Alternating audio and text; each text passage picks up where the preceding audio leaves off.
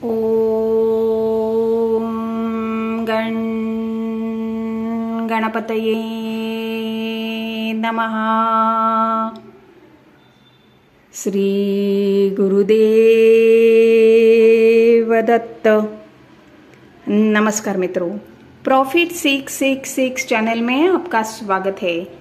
कैसे हो आप? आशा करती हूँ कि आप ज़रूर कुशल मंगल होंगे।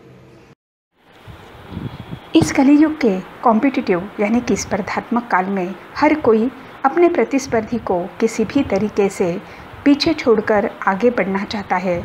इसी वजह से बहुत सारे निर्दोष या निष्पाप लोग शत्रु या नौकरी धंधे में या व्यवसाय में अपने दुष्ट सहयोगियों के वजह से कष्ट सहन कर रहे हैं। कई बार ऐसा कष्ट ईर्षावादी रिश्तेदार और पड़ोसियों के कारण भी होता है।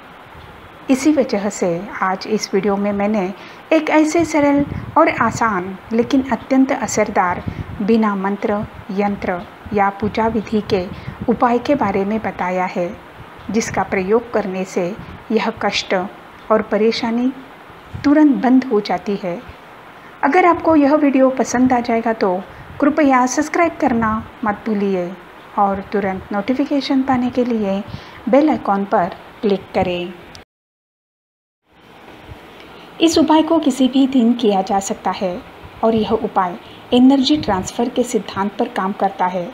यानी कि साधक अपने मन के नकारात्मक ऊर्जा को उस परेशान व्यक्ति के पास भेजता है और अगर साधक इस उपाय को तीव्रता और द्वेष के साथ करेगा तो उसके मन में से निकलने वाली ऊर्जा, दुश्मन या तकलीफ़ देने वाले व्यक्ति के आभा को भेद कर उसकी पीड़ा हमेशा के लिए ख़त्म कर सकता है।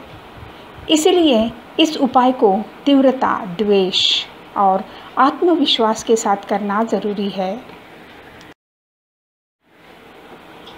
साधक इस उपाय को किसी भी दिन कर सकता है। उसे एक सफ़ेद कपड़ा लेना है और उस कपड़े पर काजल से अपने तर्जनी उंगली, यानी कि पहली उंगली, जिसे इंडेक्स फिंगर भी कहते हैं उससे शत्रु का नाम लिखना है।